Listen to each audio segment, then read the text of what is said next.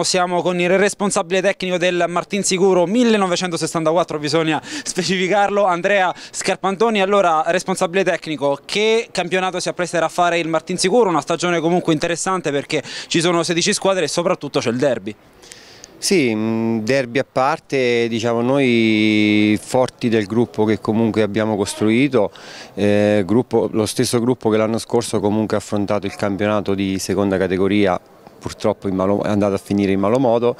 e con una retrocessione, però ecco, sulle ceneri di, di, quella squadra comunque siamo ripartiti, eh, abbiamo messo qualche pezzo importante come Roberto Cucco, giocatore di esperienza che eh, ha già militato nel, nelle file del Martin Sicuro Calcio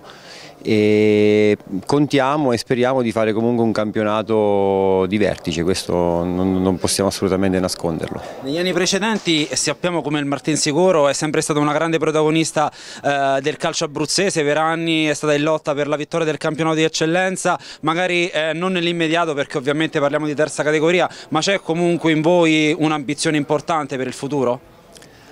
Tengo a precisare e a sottolineare soprattutto che noi lavoriamo molto sul settore giovanile. Abbiamo tutto il settore giovanile, dalla scuola calcio alla categoria juniores,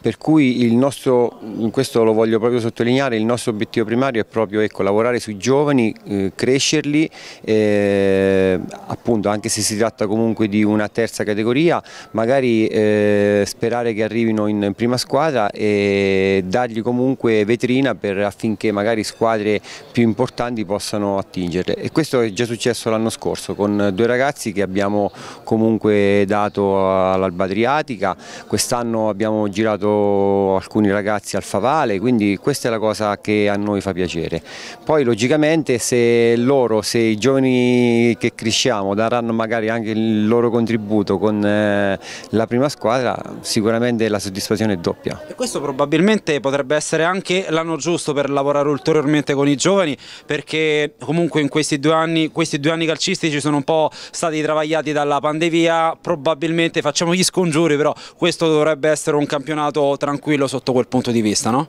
Sì, mm, me lo auguro, comunque eh, noi abbiamo anche un, mix, un, giusto mix di gente di esperienza con eh, i giusti innesti di giovani provenienti appunto dal nostro vivaio con l'attuale rosa della prima squadra, quindi questo ci, ci fa essere orgogliosi del lavoro che, che, stiamo facendo e spero di raccogliere il frutto nel corso, di raccogli, speriamo di raccogliere il frutto nel corso degli anni.